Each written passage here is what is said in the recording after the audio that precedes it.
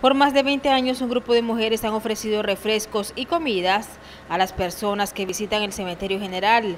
Sin embargo, ahora la administración de este camposanto les está exigiendo que se trasladen a una cuadra del lugar. El problema es que aquí nos están desalojando porque dicen que no quieren vendedores aquí.